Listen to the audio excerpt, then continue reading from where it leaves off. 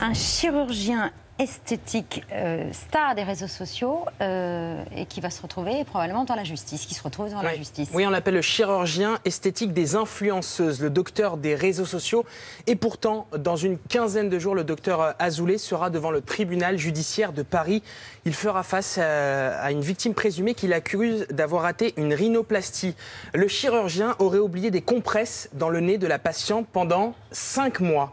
En urgence, cette femme a dû être réopérée. Ce témoignage dans le Parisien s'ajoute à celui d'une quinzaine d'autres femmes. Elles parlent d'interventions qui ont affaissé leur nez, des injections pour galber les fesses qui ont entraîné des infections sévères. C'est le cas d'Émilie Amar. Le 27 juillet 2021, le chirurgien lui laisse seulement deux heures pour décider d'une opération gratuite.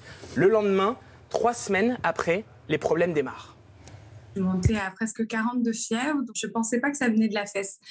Mais quand la fesse a commencé à durcir, c'est là que je me suis dit, non, mais là, il y a un réel problème. Elle commençait à doubler de volume, donc perfuser des antibiotiques très, très lourds à l'hôpital, euh, très fort, puisque comme il pensait que c'était un staphylocoque doré, c'était une bactérie multirésistante. Il fallait taper dedans euh, d'un coup. Je suis descendue à 45 kilos, je me tordais de douleur. Il faut savoir que j'avais une bouée à cette époque pour euh, m'asseoir, pour me déplacer. Il m'a dit, il faut prendre des corticoïdes à présent. La fesse a triplé de volume.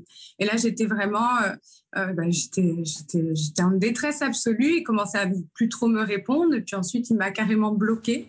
Aujourd'hui, euh, Émilie Amar va bien. Elle a été euh, réopérée, elle aussi, à, Paris. Luna Sky, une autre plaignante, évoque des mutilations lourdes.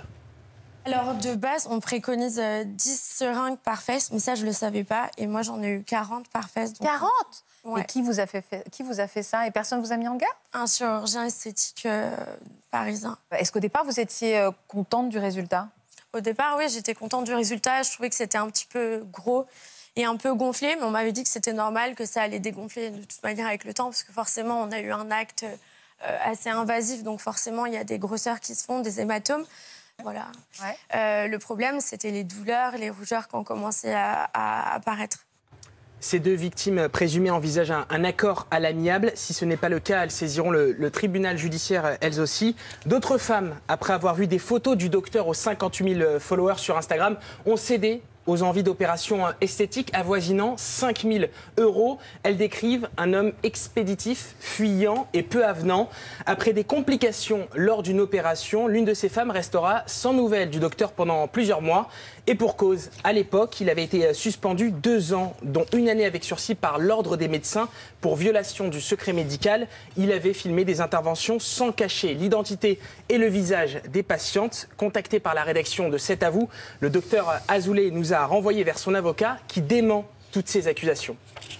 Lui, il n'y a pas eu d'expertise, on n'a on pas le, tenant et les aboutissants de, tout ce qui est dit, c'est parole contre parole, et même pas parole contre parole, puisque lui est tenu au secret médical, donc il ne peut pas se défendre. Je peux vous dire qu'il est aujourd'hui euh, très affecté par ce qui arrive à ses patientes, mais c'est pas parce qu'il y a des répercussions qui sont graves ou des, euh, complications qu'il est forcément euh, responsable et qu'il a commis une faute.